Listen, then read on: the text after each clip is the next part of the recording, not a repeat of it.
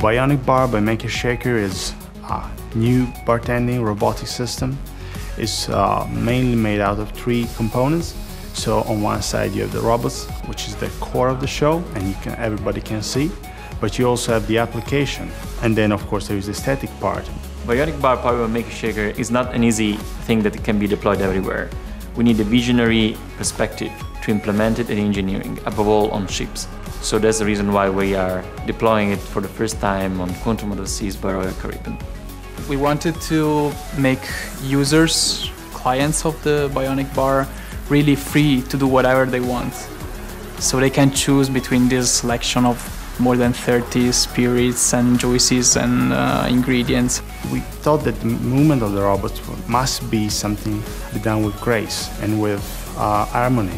So we, we collaborated at the beginning with Roberto Bolle and we actually developed this new movement so that the robot looks human and looks beautiful while, while it dances and it moves around. Makr Shakr is a big part of being smart on the ship. The Bionic Bar Power Makr Shakr will have a big role in making this ship as smart as possible. And uh, we're happy about that. So it's been a lot of work, a lot of excitement, and we're finally here ready to launch.